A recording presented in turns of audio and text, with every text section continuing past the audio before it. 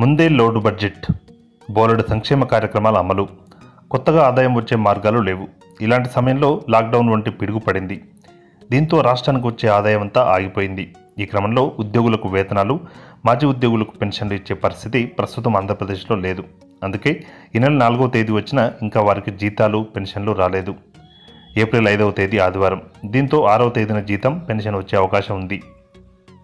ఆ జీతాలు పెన్షన్లు చెల్లించేందుకు ప్రభుత్వం దారులు వెతుకుతోంది.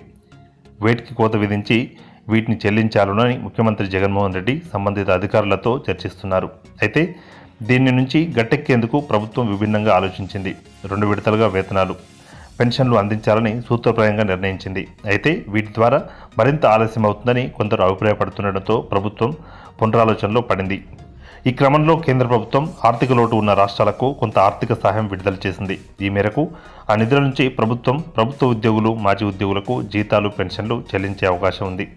ప్రస్తుతం కరోనా వైరస్ వ్యాప్తి నేపథ్యంలో ప్రభుత్వం విధించిన లాక్డౌన్ కొనసాగుతుండటంతో రాష్ట్రంలో ఆదాయ వనరులు పూర్తిగా తగ్గిపోయాయి. ఎలాంటి ఆర్థిక కార్యకలాపాలు కొనసాగడం లేదు. రాష్ట్రంలో పన్నులు వసూళ్ళు ఆగిపోయాయి. చిల్లర వర్తకం మినహా మార్కెట్లన్నీ మూతపడ్డాయి. దీంతో ఆదాయం రాని పరిస్థితుల్లో ప్రభుత్వం జీతాలు చెల్లించలేని పరిస్థితి.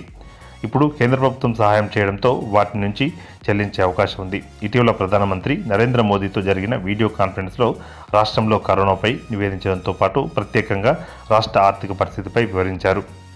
కేంద్రం ఆదుకోవాలని విన్నవించారు.